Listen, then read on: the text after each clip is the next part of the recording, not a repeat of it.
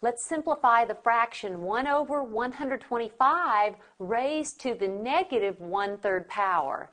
Now this is up to you, but recognizing you have a negative exponent here, you can simply take the reciprocal of 1 over 125 and it then becomes the positive one-third power.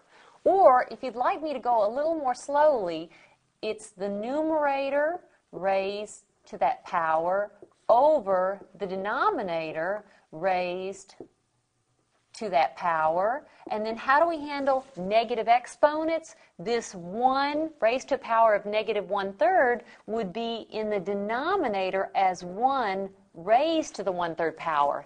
And in the denominator, 125 raised to the negative 1 third power, that would move to the numerator raised to the positive 1 third power. And then what does this mean? It means the cube root of 125 over the cube root of 1.